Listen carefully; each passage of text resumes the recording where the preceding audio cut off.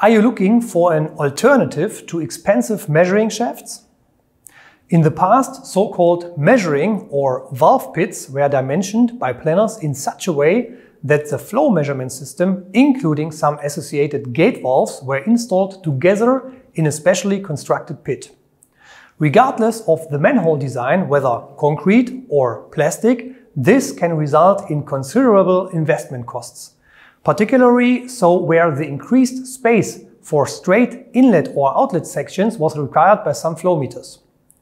The possibility of installing the water meter or flow meter directly in the ground without the need for straight inlet and outlet sections reduces all those costs significantly.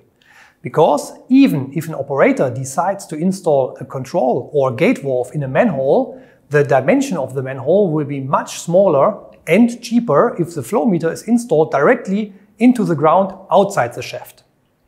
For such an installation, KROHNE provides a subsoil coating directly ex-works, which robustly withstands any corrosion. A possible operation period of approximately 25 years or more justifies the installation directly in the ground. There are of course options for checking or verification of the meter via the flow converter electronics, which is typically installed above the ground in a control cabinet. As can be seen here in the video, it is unproblematic to install the device in front or behind bends, shut-off valves or regulation valves or even pumps. The installation of the innovative water meter without the need for inlet and outlet sections can in fact be carried out in many ways.